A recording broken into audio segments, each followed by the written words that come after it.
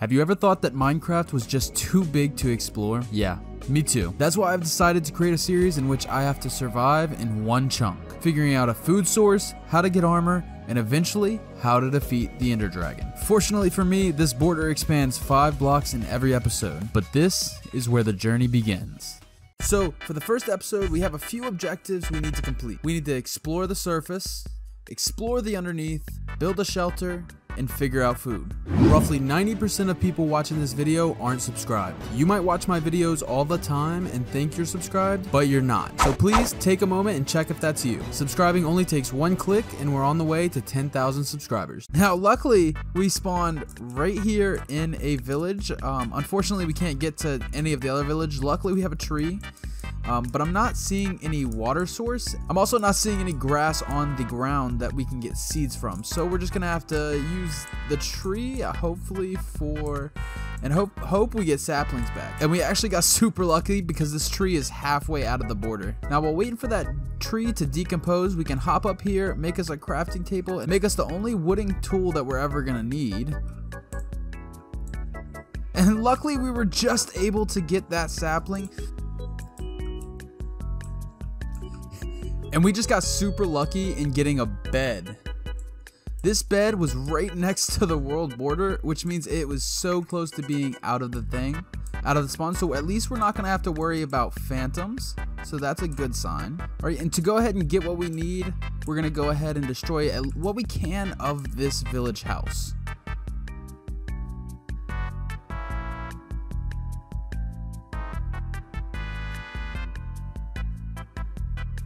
Alright, and with that done, we've fully explored the top. Alright, now with the top explored, we can start heading down to the bottom. Alright, and luckily for us, we actually found some coal, which is going to be very useful. Hopefully this is a big vein of coal. Oh yeah, it's looking to be like one. Oh, and it's right here on the border too. Oh, we can't grab all the coal because some of it's outside the border.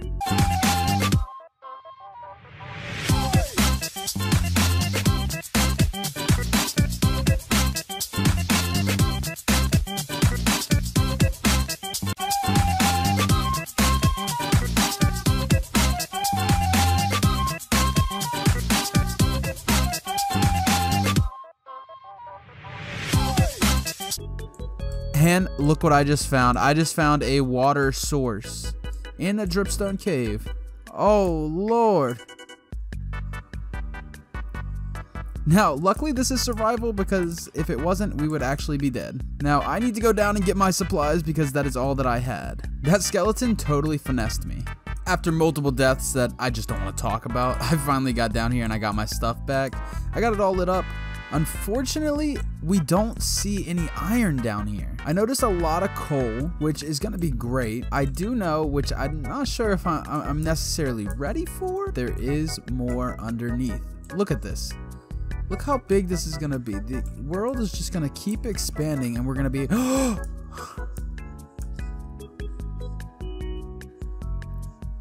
There's a mine shaft. Right there. It's it's just slightly outside. Let's go ahead and place some light down. At least we know for the episodes to come that there will be some uh, exciting things to come. This is a huge cave. I can already see some iron over there, and there's actually some redstone and more iron right there. We just can't reach that yet. So I guess we should just start heading down. I don't know if we can grab this redstone with a stone axe. Yep, that was that was my fault. And from what I can see, it looks like we're also in an ancient city. And I just glanced over there, and there is, in fact, a creeper over here. I'm not looking forward to die. So, we're to slowly make our way over here to where there's some iron. Our first bits of iron we have finally found. Unfortunately, right next to this creeper that is just itching to kill me. Alright, and we're just gonna take that creeper out just one hit, I guess. I don't know what happened. Okay, so luckily it's more than just a three vein. So at least we have enough right now to get a bucket. That bucket's going to be very crucial. Alright, with being right here, we're going to continue to go down and see if there's any more hidden caves. Because right now we're only at 0, 0.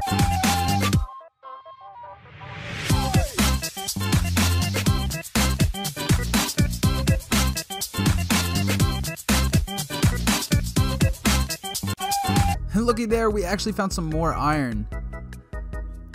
It would be me that finds the one vein of iron in this one chunk. Oh, well, there's the rest of it. The two vein. Alright, our first bit of lapis, which I don't think we can get because we don't have an iron pick yet. So we're just going to leave it there for right now.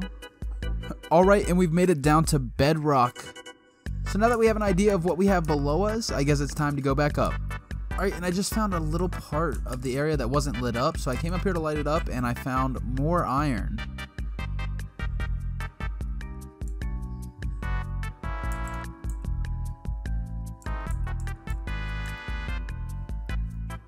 So with that, that gives us a total of 14 iron to our name.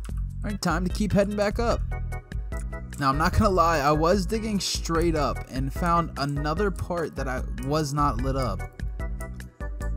There's an Enderman in here, and I guess he's just trapped in here forever, so...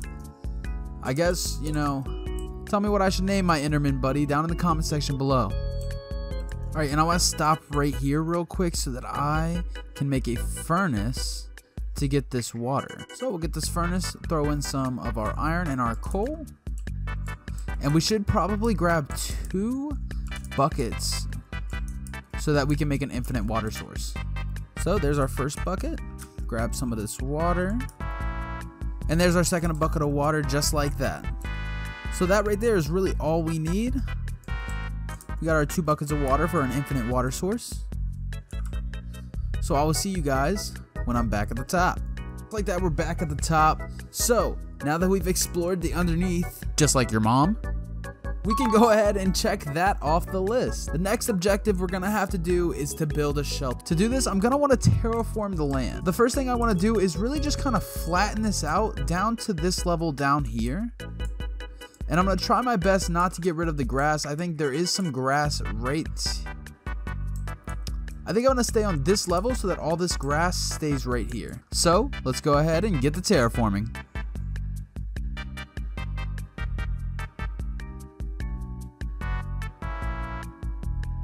Just like that, our area is finally flattened out and terraformed to the land, except for maybe just like these parts right here. But this will in fact be just my staircase to get down to the mine. Now, with we don't have a lot of items that we can use to build a house, but we do have a decent amount. Uh, it might look bad, but we're going to do the best that we can. Alright, so with food being a problem, I'm thinking about building this on a 3 high and then just having a nice little farm underneath. So, let's get to building.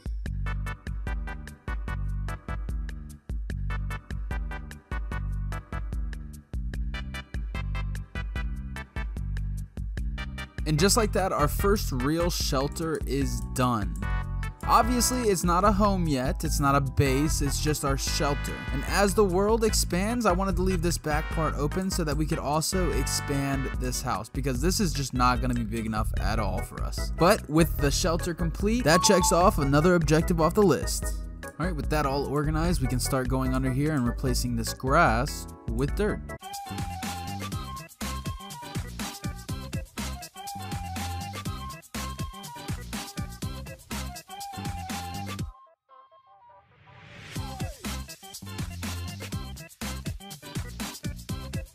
Alright, and with that done, all we need to do is create an infinite water source, which should be just as easy as placing one there and one there, and then we have an infinite water source. Awesome. We need to make all this into bone meal. We got 15 bone meal.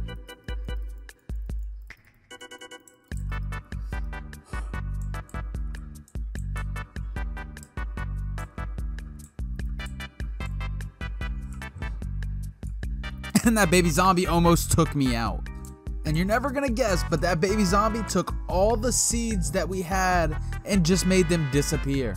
So now after having 15 bone meal, we have 4 bone meal left, and we have to hopefully get some seeds with it.